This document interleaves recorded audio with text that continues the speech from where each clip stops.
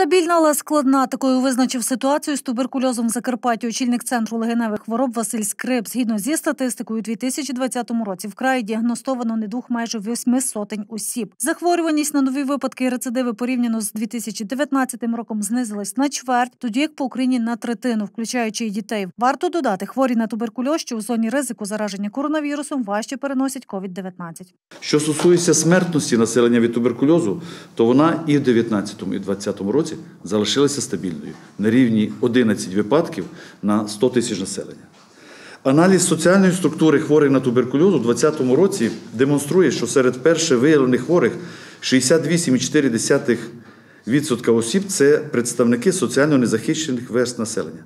Це непрацюючі працездатного віку. Хворіють і інші особи, які мають серйозний соціальний статус, і певні статки, і культуру, але вони почали більше хворіти. Закарпаття чи не єдиний регіон в Україні, де діє обласна цільова соціальна програма протидії туберкульозу на 2017-2021 роки. На її реалізацію з обласного бюджету у 2021 році, як і в 2020-му, передбачено 2 мільйони гривень. За ці кошти закуплено рентгенівські плівки, туберкулін та інші ліки, шприци, засоби захисту.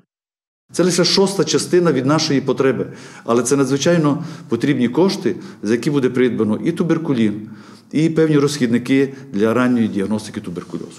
І тим самим ми зможемо допомогти тим регіонам нашої області, які ще не є самостійними і достатніми в плані фінансування. Протитуберкульозними препаратами для лікування туберкульозу. Ми забезпечуємося централізовано за кошти державного бюджету та частково глобального фонду для боротьби зі снідом, туберкульозом та малярією. Хворі на туберкульоз забезпечені повністю. Один із самих дієвих засобів імунізації населення від туберкульозу це вакцинація. Так БЦЖ вже понад 90 років ефективно застосовується в 64 країнах світу, в Україні в тому числі. Рекомендованою до використання є у понад 100 державах. В кінці січня, тому що та вакцина БЦЖ, яку ми мали, закінчувався в неї термін дії. Нову ми поки не отримували.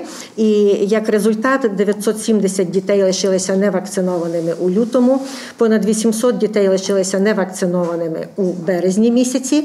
Але буквально вчора в департаменті охорони здоров'я підписано наказ на розподіл 14 тисяч доз вакцин БЦЖ по різним районам нашої області. Основні напрями вдосконалення протитуберкульозної роботи в краї, покращення матеріально-технічної бази медзакладів, довершення будівництва тублікарні в Нижній Апші Тячівщині, поліпшення діагностики та лікування соціальної підтримки хворих, а також раннє виявлення та профілактика.